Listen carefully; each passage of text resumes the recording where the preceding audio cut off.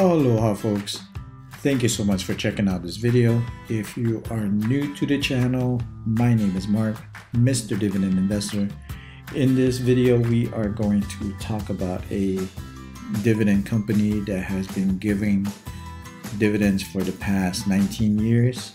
Um, I don't think many people know about this company, so if you're interested in possibly uh, investing in this company, sit back, enjoy, enjoy it. Please do me a favor, uh, hit up, hit the like button, share if you want to share this to somebody that's probably going to be interested in it.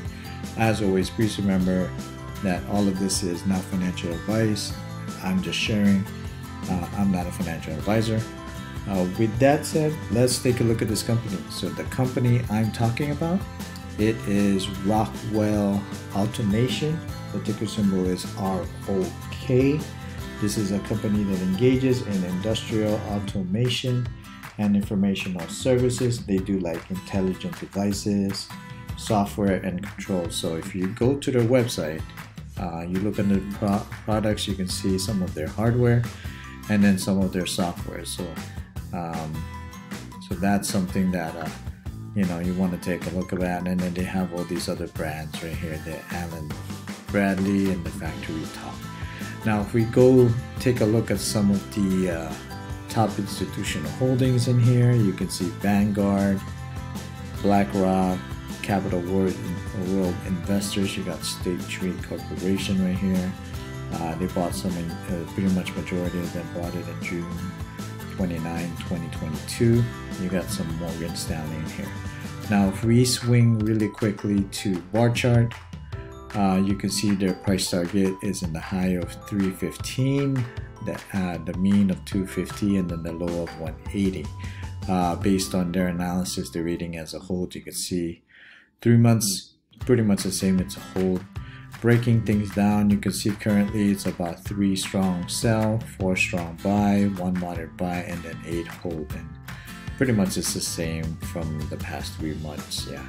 Now, quickly going to Webull, you can see based on 27 analysis, the rated as a hold, about 48% says a hold. You got a strong buy of 18%, and then you got like sells and then underperform. Now, looking at their price target, similar to Yahoo uh, uh, from the others, you got a high of 300, the average of 243, and then you got low of 200.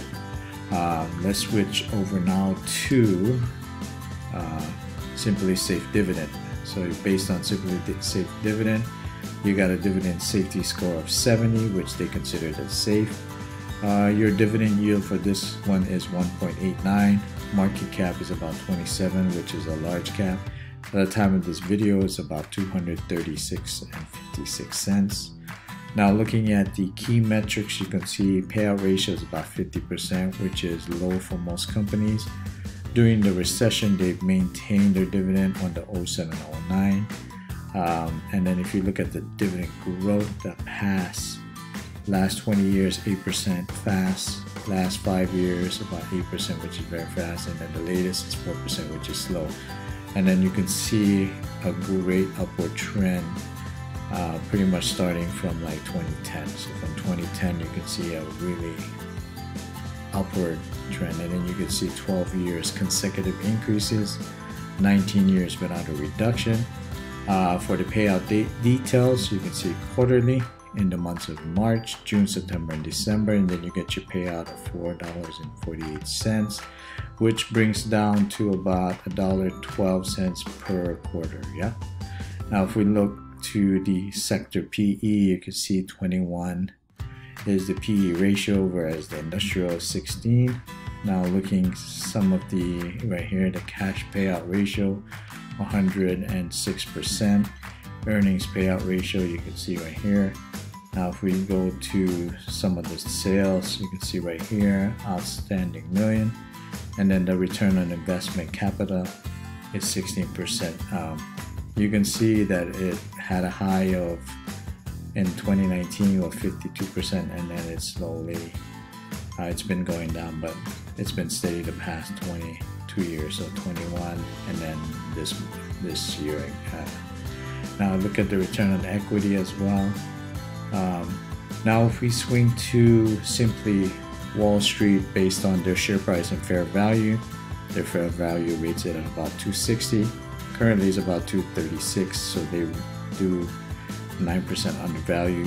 And they did this based on their estimate using their method called the discount cash flow model.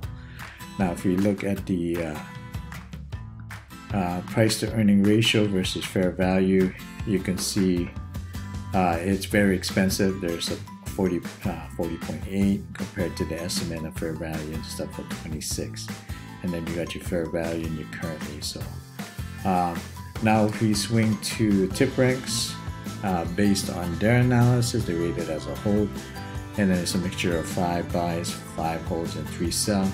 Their price target is in 241, uh, a 1% upside. And then their 12 month forecast rated as a high of 300, 241, and then 180. Now, if we swing and look at some of the analysis forecast, you can see these guys. Um, some of them are saying 22% upside. You got a buy of 26%, and then you got uh, the other way of downside of sell of uh, 24%, and then you got stuff. So there's a mixture of buy and holds and sell. Uh, now, if we go to the stock analysis, you can see uh, hedge fund holdings have increased, and then your smart score for this one is at five, which is neutral, and you got your uh, blogger sentiment analysis forecast is also hold. Now, if we click on this one, you can see hedge fund increases holdings the last quarter. So it's very positive signal based on 15 activity, 15 hedge funds in the recent quarter.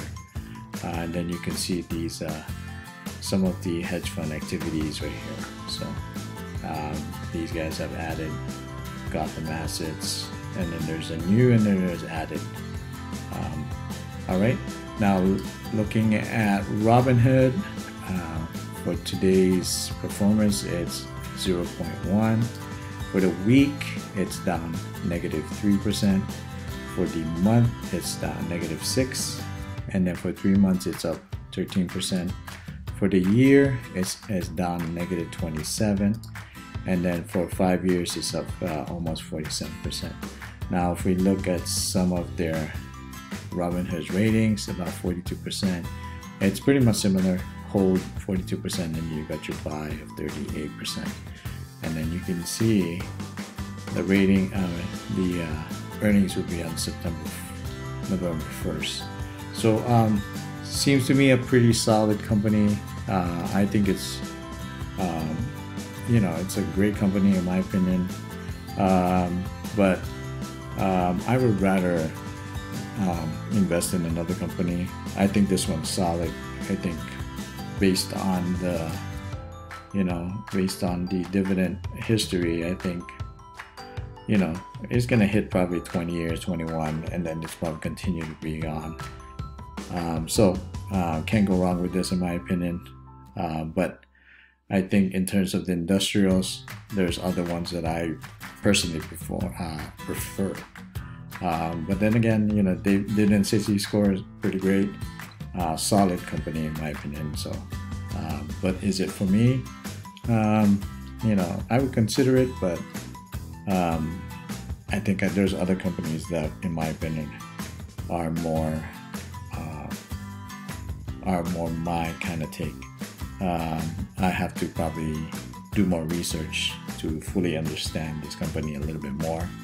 Uh, then I'll probably decide whether I want to invest it or not. Uh, all right, guys that's about it. Um, if you have any chance, just go and take a look at other videos as well. Uh, as always, please remember uh, stay cool, keep investing, and I'll catch you guys in the next video, right? Take care. Aloha.